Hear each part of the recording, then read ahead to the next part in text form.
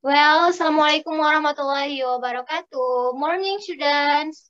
Waalaikumsalam. Miss. How are you today? Alhamdulillah. Fine. Alhamdulillah. Miss? Alhamdulillah, I'm fine too. Well, before we start our class, like usual, let's pray first. Pray begin. Finish. Uh, well, students, firstly, I would like to check your attendance first. Oke, hadir semua ya. Oke, um, last week I have taught you to read some information about procedure text. Jadi minggu lalu Miss sudah uh, menyuruh kalian untuk cari informasi tentang text procedure. Sudah kalian cari? Sudah, Miss. Miss. Ah, okay, Debbie, what is procedure text? Procedure text is how make do something. Yes, that's right. Okay. Give applause to Debbie. Oke. Okay. Apa yang dikatakan Debbie itu benar ya. Jadi uh, procedure text is a text about how to make some something. Well, next is about the generic structure. Oke. Okay. Uh, atau dalam bahasa Indonesia juga disebut struktur teks.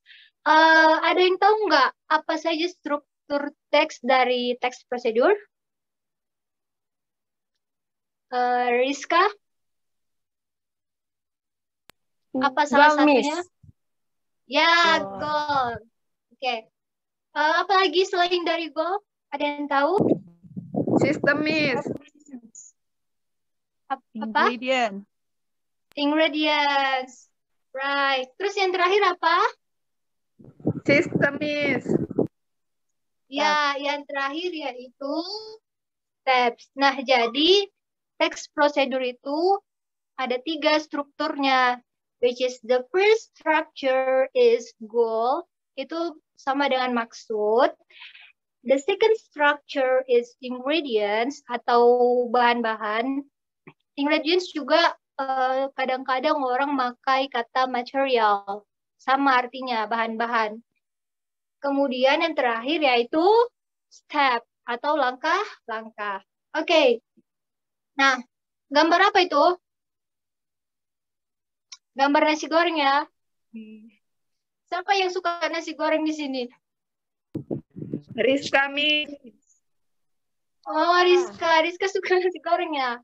Oke. Banget. Nah, good, good ya. Soalnya ini eh, makanan Indonesia banget.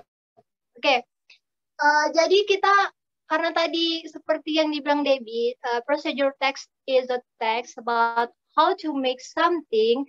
Nah, jadi eh, kita pakai contoh dari nasi goreng, itu cara membuat nasi goreng or how to make fried rice. Oke. Kalian bisa lihat eh, kotak-kotak di situ. Kalian bisa lihat ada warna kuning, merah, dan biru. Bisa lihat? Bisa ya? Oke. Eh, tadi kita sudah bahas ada tiga structure, ada tiga struktur. Nah, eh, yang warna kuning, coba eh, Rizka, Rizka Dria, apa itu yang warna kuning? Itu termasuk dari struktur apa yang warna kuning? How to make red rice. Apa itu? Struktur yang pertama tadi. Goal. Ya, betul. Itu adalah itu adalah goal atau tujuan. Nah, kita bisa lihat tujuannya itu adalah how to make fried rice. Oke, em, yang kedua, yang warna merah. Coba, eh, Tio, apa namanya itu? Yang kedua. Ingredients, Miss.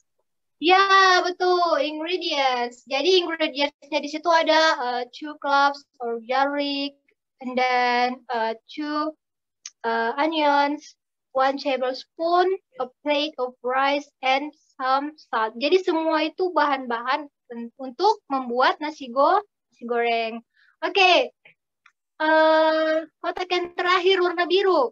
Debbie. Itu apa Steps. Debbie namanya? Step, ya, Miss. betul. Ya, betul, steps. Nah, di situ ada beberapa steps untuk membuat nasi nasi goreng. Oke. Selanjutnya kita bahas tentang uh, language features atau ciri kebahasaan.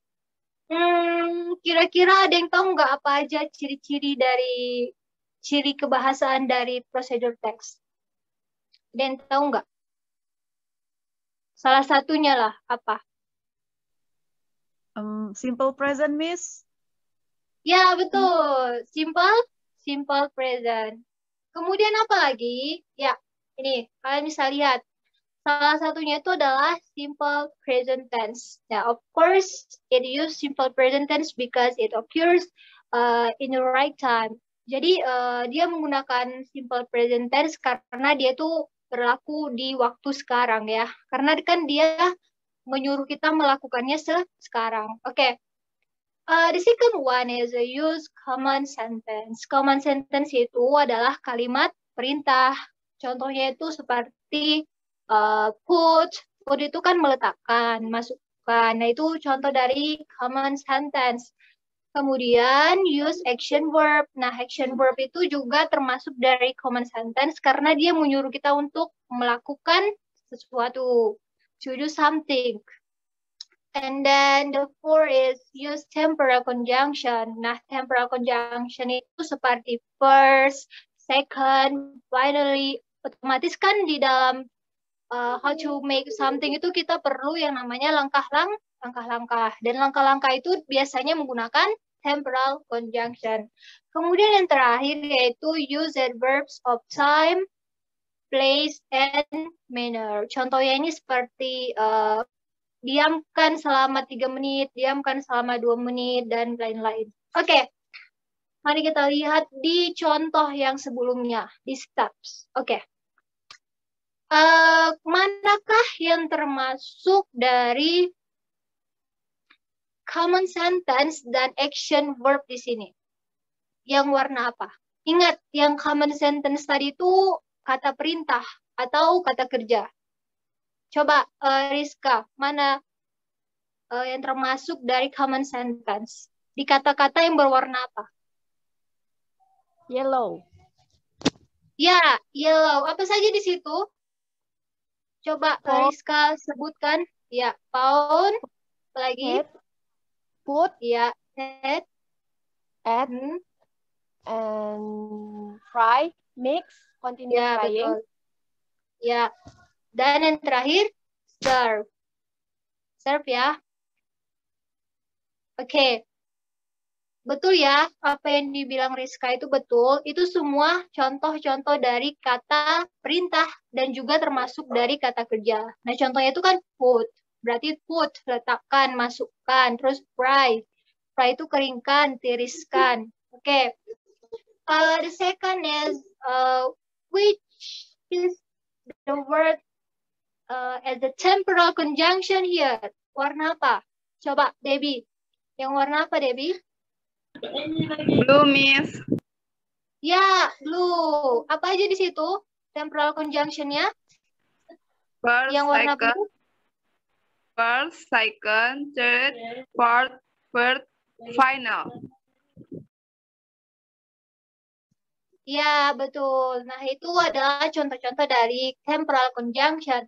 Oke, okay, the last one is adverbs, adverb of time, place, and manner. Coba, Syarifatio, yang mana itu? Yang warna apa?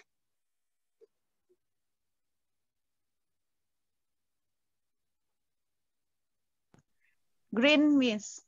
Hijau. Ya, betul. Green. Apa aja di situ, Tio?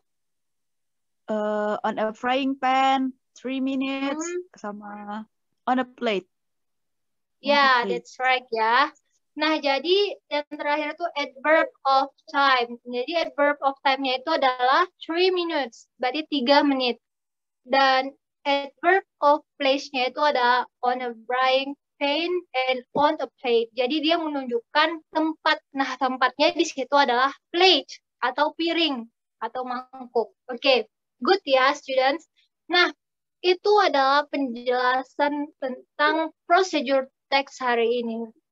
Nah, uh, it is important to you to learn about procedure text because uh, one day, uh, someday you wanna be maybe if you wanna be uh, entertained in a cake of producer, you have to arrange all of your production in a procedure text. Nah, jadi suatu saat kalau misalnya kamu pengen jadi pengusaha kue, maka it is important to you untuk membuat langkah-langkah dalam membuat resep tersebut. Dan resep tersebut bisa kamu jual uh, ke luar negeri apa apalagi kalau resepmu itu terkenal. So it is important to you. Uh, well, students, uh, I think uh, it is that's all about our class today. Uh, maybe you have a questions so far. Uh, no question ya? No. Atau do you ada question? Oke, okay, no question ya. Berarti cukup jelas ya.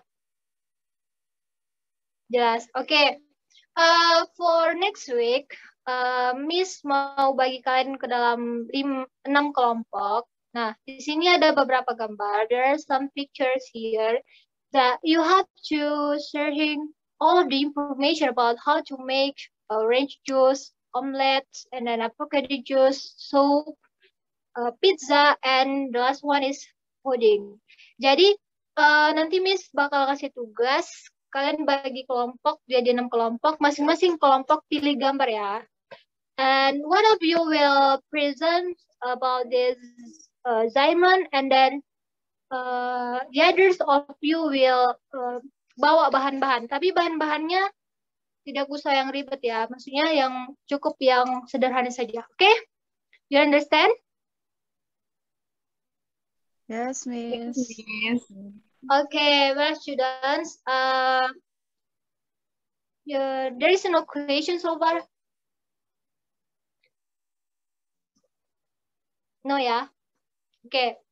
Uh, maybe if you have a question, you can uh, chat me on my WhatsApp number.